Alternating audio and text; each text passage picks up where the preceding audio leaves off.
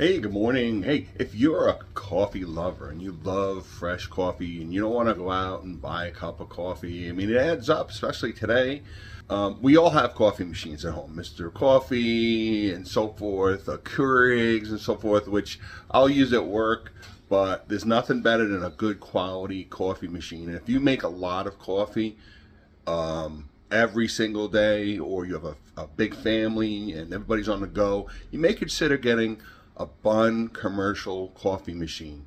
Um, I got a great deal on Amazon this season, and um, I highly suggest looking through. Now, Bunn also makes a homebrew, which is a smaller version of their commercial.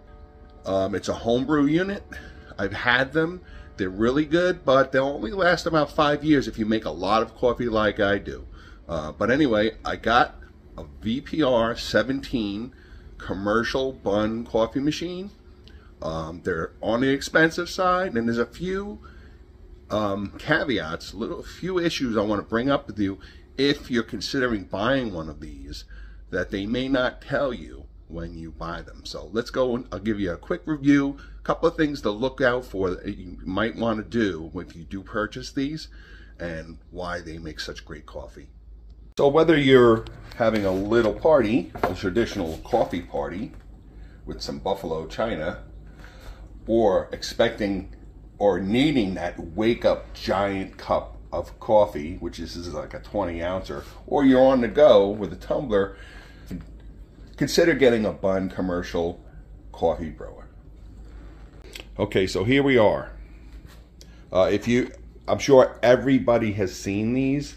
These are generally what you'll see in the a restaurant or even a coffee place. Um, you know, as uh, over the years, I've I've seen Bunn machines at Dunkin' Donuts and so forth, and they upgraded to the really larger Bunn machines, but they essentially are the same. And what they have in the back here is a an enclosed. Everything is stainless steel. Is an enclosed hot water tank that constantly keeps the water at over at 180 degrees, which is the optimal temperature for coffee. Now these use standard plugs, and contrary to a lot of people's beliefs or myths, they're they're they're not necessarily a myth, but there are two versions. There are um, the versions that a plumber needs to connect the tank to a water line. There are two versions and this is the VP series, the VP 17, which is a pour over. A Pour over means you don't need a hook up. You don't need to get a plumber, nothing fancy. It comes with this cup uh, measure. I, I actually pre-measure out depending on how many cups I want to make. I'm going to get to that uh, later. Um, but you pour your water directly over into this and what this does is it displaces the water in the back. Just quickly, a quick review on these. These make excellent coffee because they brew. There's a number of reasons. They keep the water at 180 degrees. You want really hot water. I call it lawsuit hot, but 180 degrees makes the best coffee. Also, there's two versions and I'm going to get to that in a minute, but you can see that pattern, that star pattern. Well, regular drip coffee makers have a single stream of water that just pours down in the center, and you're not going to get the turbulence, um, which gives you full flavor of your coffee. All your grounds are getting saturated with this, and how what that's caused by is, and these are um, what makes the Bunns also make great coffee is this star shower head. And this is a stainless steel shower head. And it showers the coffee grounds with water, which creates the turbulence, which gets all of the coffee grounds soaked, and you get plenty of flavorful coffee. Now you're probably wondering why there are two baskets here. When you order these machines, and this is a single heater. There are numerous different models. Some have one, some have two. they'll have another one on top. Some of them have three or four, depending on, you know, obviously I don't need four, it's just uh, my wife and myself. Um, so I, I got this model with the single heating element. But you're wondering why I have the two baskets. Well, if you order it just stock plain like this, it comes with this plastic, which is essentially the same type of, uh, it's a basket, same basket, but it's plastic. It goes in here. Of course, they give you some uh, filters, but it goes in here. But some people don't want plastic. I don't. I don't really want plastic. The hot water and over time you're cleaning it and so forth. You don't want to. You don't want plastic. You're trying to get away from plastic. So they offer this stainless steel optional grind basket, which is great. It just it's rugged. You can wash it in a dishwasher or wash it by hand. It's durable. You don't have to worry about your hot water, anything touching plastic. It, it really is a good option. These are a little pricey. Obviously, you, are talking commercial quality stuff here, so it's a little pricey. This is about $70 upgrade. However, this is something that they don't tell you, and I don't know why they do this. Well, I know why. They probably just want to make money. I just don't understand why. But if you buy this option and run the machine, your coffee is going to come out very weak. And that's because you have to purchase that little screw-on tip, which is another $10, which is ridiculous. It really is. Uh, but what's ridiculous? Me buying it or whatever. But you know what? I want the good coffee and um, but that's a little stainless steel screw-on tip, and what that does is it it creates a smaller drain hole, so the the coffee backs up a little more here and gives you really good tasting coffee, better tasting coffee than this. People complain that if you use this without this tip, the coffee runs through too fast and you don't get really flavorful, full, flavorful, weak. You, you you'll get you know weak coffee. So it's ridiculous. I think it's just it's greedy. But what am I going to do? Fight City Hall. Uh, make sure you get genuine Bunn parts. There are some knockoffs. Make sure, and you can tell by this label. And they, if you read the uh, when you purchase these, or if you're searching online, this sticker should be like this. Knockoffs may be different or will be different. It may not say warning, it may say hot coffee or something like that. This is how you can tell it's a Bunn. It should be marked Bunn, but there's so much fraud out there. Same with these plastic ones. These are the Bunn stickers. Um, just so you know, because there's so many knockoffs and so much fraud going out there, but they make really good coffee.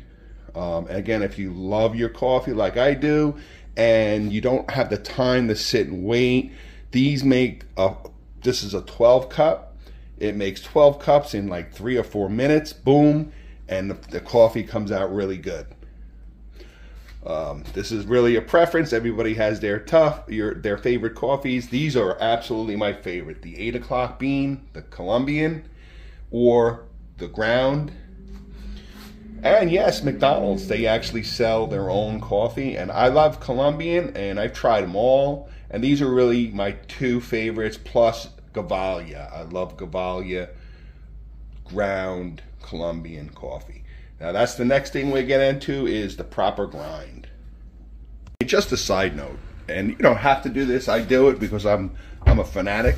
But if you take your hot coffee and you pour it into a cold cup, what are you doing? You're lowering the temperature of your coffee and it's going to affect the flavor. So what I do is while I'm making my coffee, I put hot water just from the tap, steaming hot water in my cup and let it sit. And then right before I pour my coffee, I empty it out and I pour my hot coffee into my hot mug. So yeah, it's a little bit fanatic. It goes over the top. Let's put it back. Make sure you put your coffee back on the warmer. It makes the coffee, it keeps the coffee nice and hot. You're not putting a hot, you're not putting hot coffee into a cold mug, especially in the wintertime. It's like nine degrees out.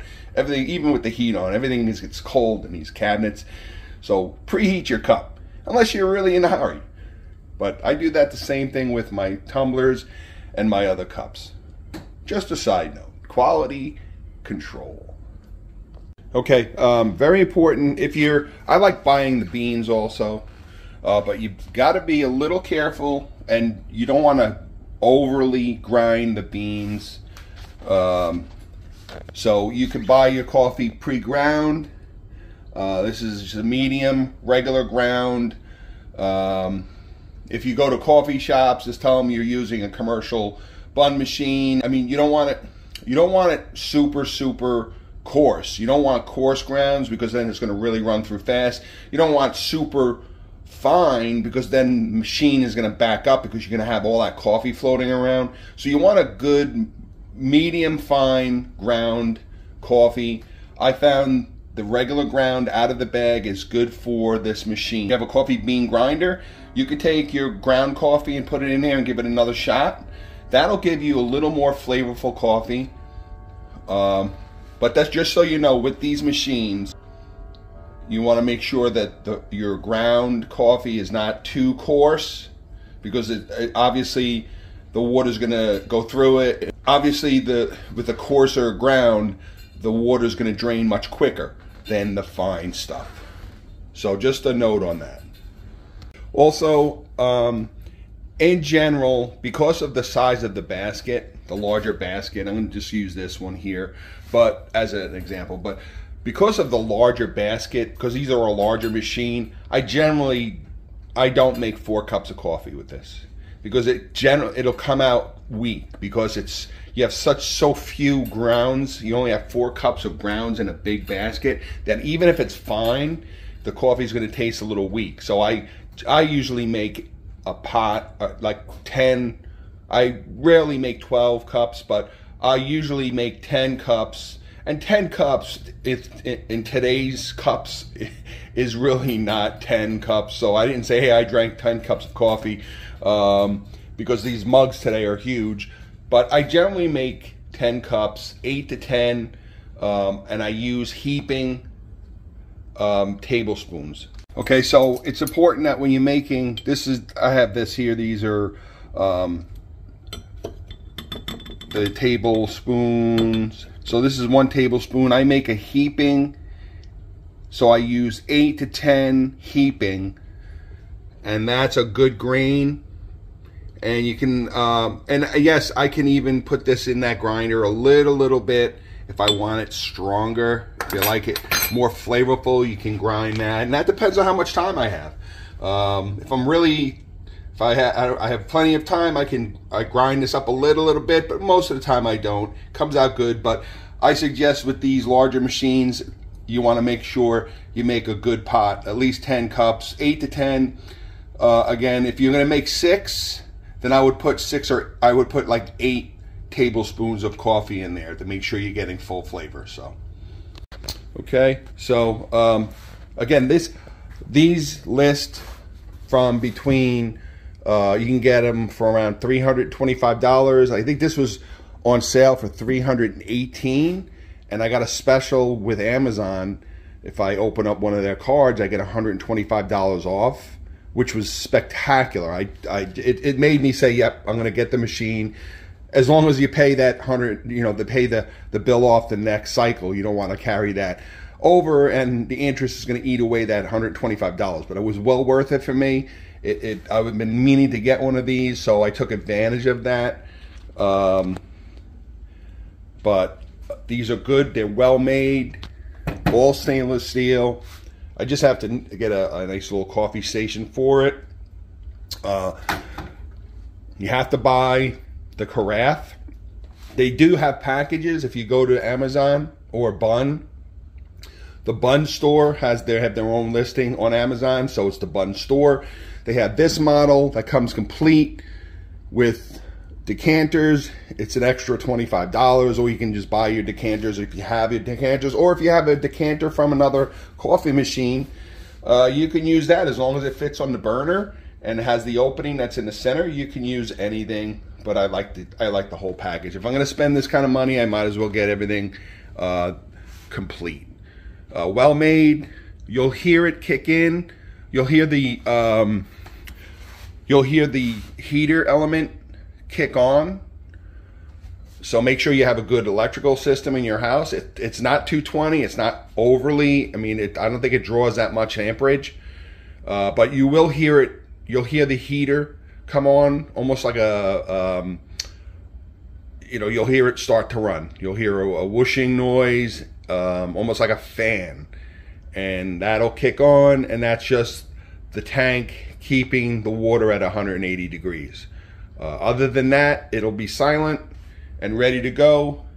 Another thing, very important, when you open this up, there's your tank where you put your water. Make sure you have your pot here. Some older models of these, or the, even the homebrew, once you open this up, it has a little lever here that blocks the water displacement. So if I pour water in here, it won't drain out until I close this. Not the case with these. Make sure you have your pot on the burner because once you start pouring water in here, it's going to drain right through and it's going to start going, it's going to start to drip.